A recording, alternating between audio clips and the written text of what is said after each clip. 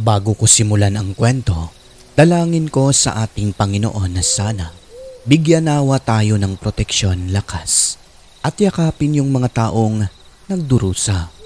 In nomine Yesu Christe. Amen.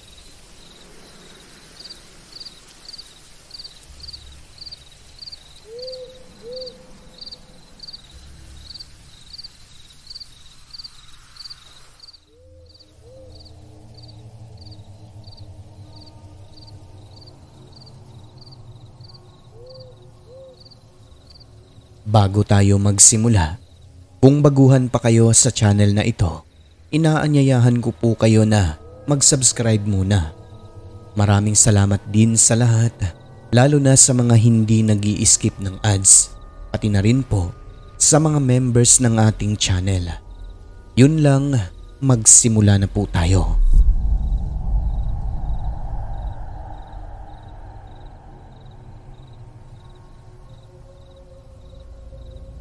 Mapagpalang araw sa lahat ng nakikinig sa channel na ito. Ako po ulit Cordapia ng Agusan del Norte. Ang kwentong ibabahagi ko ngayon, karanasan namin sa aswang na ang suspetsya kabaryo lang din na mag-inang sinasabing wakwak. Nangyari ito matagal ng panahon ang nakalipas. Kung hindi po ako nagkakamali, 7 anyos pa lang po ako noon Sir Alex. Nakatira kami malapit sa tabuan o yun pong lugar kung saan ginaganap ang pangangalakal. Bali pinatira lang kami noon sa lupa ng amo ni Papa dahil nangungupahan lang kami dati kasi walang sariling bahay.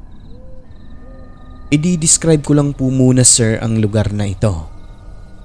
Yung tabuan na sinasabi ko, katabi lang po nito ang simentadong kalsada na may dike. Doon kami tumatambay kapag gabi, naglalaro ng tagu-taguan at kung ano-ano pa. Sa babang bahagi naman ng dike, may mga kabahayan doon at ang unahan, sapa na na dumudugtong sa dagat. At yun na nga po, bago kami lumipat doon, syempre, gumawa muna ang aking tatay ng bahay. Nagtaka ang aking ama kasi nung nagbubutas na siya para ibaon ang mga haligi, nakahukay siya ng mga ribulto ni Mama Mary at Papa Jesus sa ilalim ng lupa. Siyempre wala lang, baka sadyang itinapon lang kasi nga basag-basag na ito at putol-putol pa ang mga ulo. Nagpatuloy lang si Papa hanggang sa matapos niya yung aming munting bahay kubo. At nung nakalipat na nga, ilang araw pa lang ang lumipas marami na kaming naging kaibigan sa lugar kasi hindi naman masyadong malalayo ang mga kapitbahay. Doon tumatambay sa may dike, naglalaro sa kalsada kahit gabi na ng kung ano-anong mga pambatang laro lalo na kapag may buwan at bilugan. Masaya kami niyan Sir Alex. Habulan dito, habulan doon. Walang problema kasi wala pa naman masyadong dumadaan na sasakyan sa kalsada na yun dati. Hanggang sa isang gabi noon Sir Alex, dun sa dinadaanan naming may vulcanizing shop, nainis yung matandang may-ari kasi nga kahit madilim na, gabi na, naglalaro pa rin kami ng tagu-taguan sa kalsada. Hoy mga piniste, ang iingay nyo ah, gabi na. Pag hindi kayo tumigil, itatago talaga kayo ng wakwak na si Aldas at Pasing. Ano gusto nyo? Inis na wika ng matanda, kaya hayon, lumapit kami sa kanya dahil nag-umpisa na rin siyang magkwento tungkol sa kanyang mga naging karanasan doon. Ayon sa kanya, totoo ang sinasabi niya. Totoong may mga bantog na aswang sa baryo. Kaya kayo, huwag kayong maglaro-laro dyan kapag gabi na. Hoy Kordapya, alam mo ba dyan sa tinayuan nyo ng bahay? Bakit po? Mag-inang aswang ang dating nakatira dyan. Ha? Totoo? Abay, sa tanda kong ito, magsisinungaling pa ba ako sa inyo? Eh, sino po yung mga aswang na yun? At nasa na sila? Ang pangalan nila, si Aldas at Pasing. Mag-inang aswang. Wala na sila rito, Kordapya. Umalis na. Umalis dahil na booking. Pero kayo, huwag kayong pakakampante dyan kakalaro nyo ng gabi ha. Kasi kahit malayo ang nilipatan nila, dito lang din sila sa baryo natin nakatira. Dumadaan pa rin yan sila rito. Ay talaga po? Nakakatakot naman. Oo nga, nakakatakot. Hala, nakakatakot no. Ay mga tonto, makinig kayo. Kapag makakita kayo ng matandang putol ang mga daliri sa paa, si Pasing na yan. Huwag kayong lumapit sa kanya dahil aswang yan. Naiintindihan nyo? Opo. Ah, o- o- opo. Upo, upo. Hola, magsiuwian na kayo gabi na. Sa mga kwento't karanasan ng matanda, medyo natakot din talaga kami. At ayon sa kanya, kaya niya raw nakilala ang wakwak na yon ay dahil siya mismo ang nakainkwentro nito. Dati, wala pa raw kuryente sa naturang lugar. Noong nabubuhay pa ang kanyang asawa at nagkasakit, minsan isang gabi, pinasok daw ito ng wakwak sa loob mismo ng kanilang tahanan. Pagpasok niya sa loob, naabutan nito na nasa dingding na ng bahay ang aswang. Bago pa man makalayo, dali-dali niyang binato ng itak pero sa paalang tinamaan. Iyon ang dahilan kung bakit naputol ang mga daliri sa paa ng aswang na si Pasing. Tumakbo ito papunta sa sapa. Kagad naman nilang sinundan para sana tuluyan. Kaso hindi na nila naabutan. Ang nakita na lang nilang nandon, isang pato na palutang-lutang at palangoy-langoy sa tubig. Simula nun Sir Alex, naging bantog na aswang sa baryo ang mag-ina na si Pasing at Aldas. Dahil siguro sa kahihiyan at nabuking, lumipat ang mga ito ng tirahan pero dun lang din sa baryo na yon. At ayon sa matanda Sir Alex, yung mga ribulto na nahukay ni Papa dati nung gumagawa siya ng bahay, ang mag-inang aswang daw ang gumawa nun. Nilibing nila dahil iba na ang Diyos na kanilang inilala. Simula nun, iniiwas-iwasan na namin na magabihan sa tabuan. Pero dahil nga mga bata, kung minsan laro-laro lang ang mga iniisip. Lahat ng mga nakakatakot, nakakalimutan. Katagalan nun, nakilala rin namin ang sinasabi nilang aswang dahil may mga pagkakataon na dumadaan si Pasing sa kalsada. Kaming mga bata naman, pag namataang papalapit na ang bantog, Ala, si Pasing, takbo! Ala, takbo, takbo. Uy, hintayin niyo naman ako. nag-uunahan sa pag-uwi. Nagsisikaripasan ng takbo kasi nga natatakot sa sinasabing wakwak. Hanggang sa isang hapon pa Sir Alex, tulad ng dati, naglalaro kami sa may dike kasama ang mga kaibigan. Kasama rin namin ni ate noon ang kapatid namin sir na 2 years old pa lamang siguro kung hindi ako nagkakamali nung time na yon. Maya-maya pa, bigla na lang nagsikaripasan ng takbo pa uwi ang aming mga kalaro. Yun pala, nakita nilang paparating na si Pasing. Kami naman ng ate ko dahil alanganin na sa pagtakbo gawa ng kasama nga namin ang maliit na kapatid. Nanatili lang kami sa aming pwesto.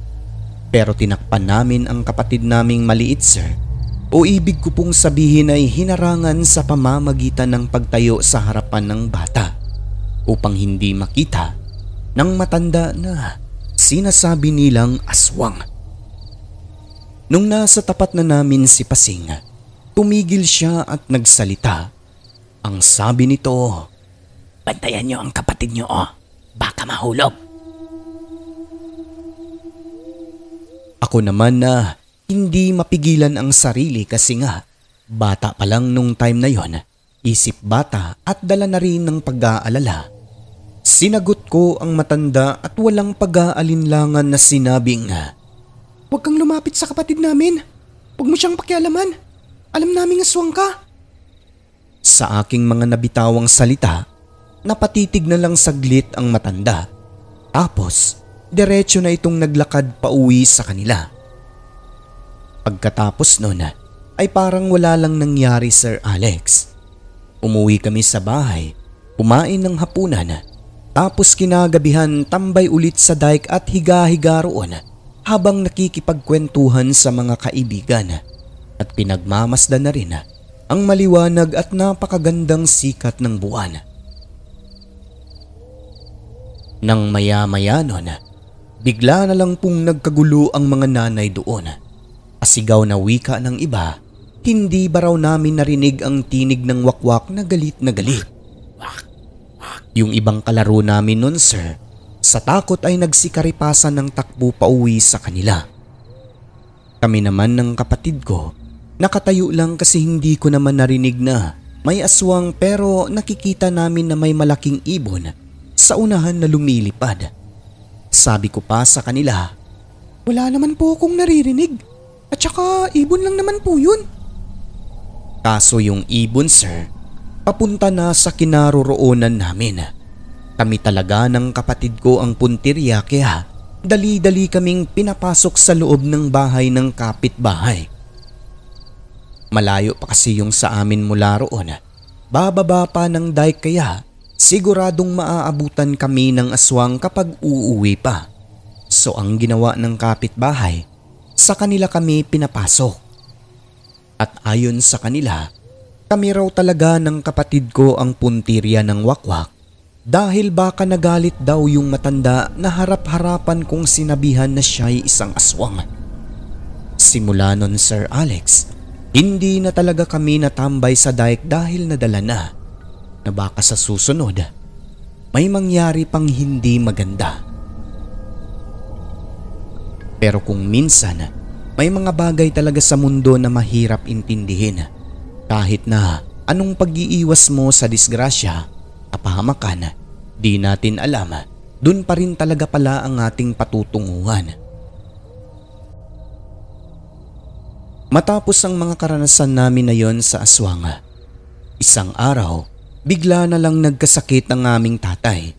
Ang dahilan, may nagkagusto sa kanya na isang babaeng inkanto. Sa panaginip niya, sinabi raw nito na gusto siyang kunin at isama ng babae para magkaanak daw sila ng kasing ganda ng bunsong kapatid namin. Nung pinaalbularyo, ang sabi raw ng inkanto, kung ayaw daw ng aming tatay, ang ipapalit na lang ay yung kapatid naming bunso. Pagkarinig ng aming ama, kahit sinong magulang naman, syempre hindi talaga makakapayag, di ba? Matapos nun, Gumaling naman po yung aming tatay. Ngunit makaraan ang ilang araw, yung kapatid ko naman ang nagkasakit. Kaya hayon, dinala ni mama sa hospital. Sabi ko pa sa kanila, sasama ako dahil ako na lang ang magbabantay sa kapatid namin doon pero hindi pumayag ang aking ina. Sa inis ko Sir Alex dahil hindi ako sinama, gumala ako sa aming kapitbahay na aking kaibigan lang din nang walang paalam sa aking mga magulang. Kasi nga, nagtatampo ako noon.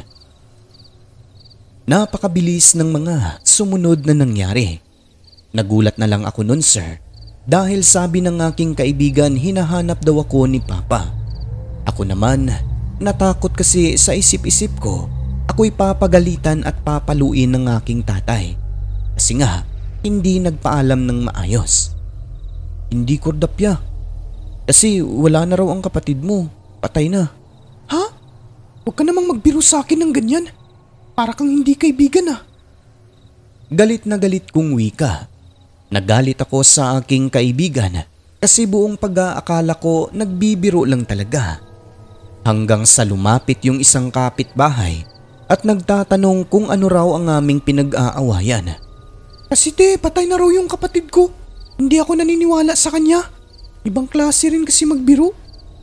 Uminahon ka, Kordapya. Oo, totoong patay na ang kapatid mo. Pagkarinig ko sa sinabi ng kapitbahay, halos hindi ako nakapagsalita. Walang kung ano-ano, dali-dali na akong umuwi sa amin. Pagdating doon, marami ng tao na nag-uumpukan. Natulo na lang ang aking luha kasi nakumpirma kong totoo nga na wala na yung kapatid namin. Halos masisi ko pa ang aking inay kasi kako sa kanya kung sinama niya ako hindi siguro mamamatay yung kapatid namin. Sapagkat yung nangyari sa kanya parang may koneksyon po yun sa nangyari kay Papa. Kung baga, tinutuo na kinuha ang kapatid ko ng inkanto. Paano kasi ganito po ang nangyari sa hospital. Nung dinala ang kapatid namin doon, Inadmit ang bata dahil may tipdas daw. Sa kadahilan ng walang magbabantay sa bata dahil kukuha ng damit si nanay, iniwan niya muna ito sandali sa katabing nagbabantay din doon sa pasyente. Umayag naman daw ito dahil sandali nga lang naman ang aking ina. Pagkabalik niya sir, sabi nung nagbabantay, ang napansin niya may pumasok daw na nurse at nag-inject ng gamot sa kapatid namin para sa tipdas. Pagkalabas ng pagkalabas nito, may pumalit daw kagad na isang babaeng sobrang bango ng halimuyak. Yung amoy nito talagang kakaiba. Ilang minuto lang matapos nun, bigla na lang daw binawian ng buhay ang kapatid ko. Nang mga sandaling yon, tiyempong paparating na rin si nanay. Nagtaka na lang ang lahat kasi yung babaeng mabango bigla na lang daw nawala. Paniwala namin, yun ay isang inkanto na kumuha sa kapatid ko. Tinutuo yung sabi sa albularyo, nagagaling si Papa pero ang kapalit ay ang bunsong anak niya. Masalimuot ang pangyayaring yon sa amin. Parang binagsakan ng langit at lupa lalo na ang aking mga magulang. Pero walang nagawa kundi tanggapin na lang dahil kung minsan Parte na talaga ito sa buhay ng tao. Hindi natin alam, hindi kontrol kung ano ang mangyayari sa hinaharap. Kung ano man ang tunay na nangyari sa kapatid ko, Diyos lamang ang nakakaalam. At yun na nga po sir, sa kahuli-hulihang bahagi ng aking kwentong ito. Matapos maihatid sa huling hantungan ng aming bunsong kapatid, bumalik kami sa dati naming lugar Sir Alex. Yun ay bilang pag-iwas na rin sa mga nangyaring masalimuot na nakaraan. Pero makalipas ang ilang taon, bumalik din kami sir pero sa ibang barangay na. At yun lang po muna Sir Alex. Marami pa po akong ibabahaging kwento sa inyo. Isa na rito ay tungkol sa kapatid ko kung paano siya hinawaan ng pagkaaswang. Ngunit sa ngayon Hanggang dito na lang po muna gawa ng napahaba na tayo. At dito ko na po puputulin ng aking kwento tungkol sa engkanto at kabaryong mag-inang aswang.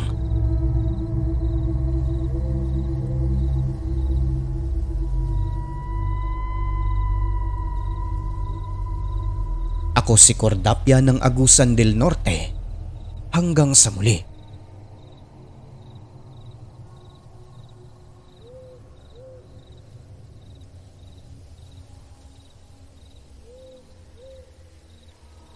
Ang mundong ating ginagalawan, nababalot ng kahiwagaan na tanging ang Diyos lamang ang siyang may kasagutan.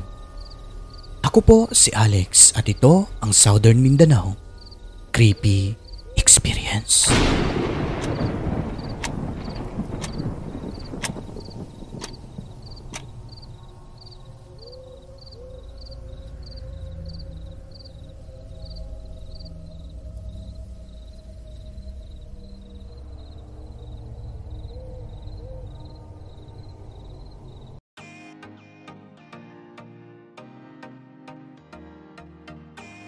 At ngayon ay madako naman po tayo sa ating uh, membership shoutout sa mga igan. Binabati ko unang-una si Madam uh, Hera Karaikle, ayan nag-join sa ating uh, membership channel no. Maraming maraming salamat po Ma'am Hera Karaikle. Pangalawa kay Christian Gio Lapido, ayan kay Marjorie Quinto na idol ang pinili. Maraming maraming salamat po Ma'am. Kay Jairus Masangkay na 11 months member na, kay Janessa Salas na 2 months member, kay Jovi Taghap 26 months, kay LC Diacosta na 27 months member na, kay Jim uh, Semilia na 9 months member, Kay Jovi Reynancia 12 months member na. Miss Gina Kalunod 3 months. Kay Maricar M na 3 months member na no. Kay uh, Burns A na 27 months member. Kay Jeffrey Bunyad na 3 months member na. Story Hike Subtotsky 18 months. Kay Luis Elmido na 5 months member na. Kay Christine Olzon 29. Kay Broso Vlogs na 9 months member na rin no. Kay Linda Abalos na 12 months, 1 year. Ayan, 1 uh, year pala. Kay uh, Unique Sino 22 months member. Kay Lavi Del Rey na 25 months. Kay Darlene Kabatuan 30 months. Kay Angie Kitahara na 16 months. And uh, last but not the least kay Madam Miss Puerto na 30 months member na. No? Ayan. Maraming maraming salamat po sa inyo mga members ng ating channel. Saludo po ang inyong narrator sa inyo. Ayan. At syempre sa mga commentators natin, last update isang mabilisang sigaw lang po ito mga igan. Binabati ko unang-una si Jude's Evening Star kay uh, Lady Warrior 08, kay Lynette Riparado, kay uh, Div. Ayan, Div. No skip ads si Sir. Maraming maraming salamat. Kay Hazel Fiesta, good morning. Ayan, no skipping ads din po si Ma'am Hazel. Maraming salamat. Kay Anika Mishka, kay uh, Arlene Cools Besa, no skipping ads si Ma'am uh, Arlene. Ayan, uh, habang nakikinig daw. Uh, nagbe-breakfast habang nakikinig. Ayan. Kay Gina Kalunod Almusal ng katatakutan ang gawa ko ngayon. Ayan, excited ako. Sige, no skipping ads lagi si Ma'am Gina Kalunod kaya maraming maraming salamat po ma'am. Kay Kentin Tan, uh, no skipping ads din po si ma'am. Maraming salamat. Kay uh, German Marasigan. Kay uh, Jihan Luzano. Kay Cherry Kobe. Kay uh, Randy Piano. Kay Christine Olzon. Ayan, Happy New Year. Uh, okay lang po ako ma'am. Kayo rin po. Ayan, sana. Last but not the least kay Madam uh, Christy Harm ng Germany. Sabi niya, Present Sir Pogi. Pa-shoutout sa tanan nimong supporter og sa whole family nimo amping mutanan. Ayan. Sa mga gustong magpa-shoutout guys, ina, uh, inuulit ko po. Dito lang kayo mag-reply sa pin post sa taas. Pin post po, no, wag sa uh, ano, para madali kong malaman hindi ako mahirapan na maghanap. Wag sa mga old. Yun lang. At sa lahat ng mga silent listeners ay welcome po kayo sa ating channel. Pumasok na po kayo at i-hit ang subscribe button. Siyempre, Huwag kalimutan ang notification bell upang updated kayo sa mga bago at nakakasabik naming mga kwento. Muli po mga kaibigan, maraming maraming maraming maraming salamat po. Huwag kalimutang tumawag sa taas. I love you.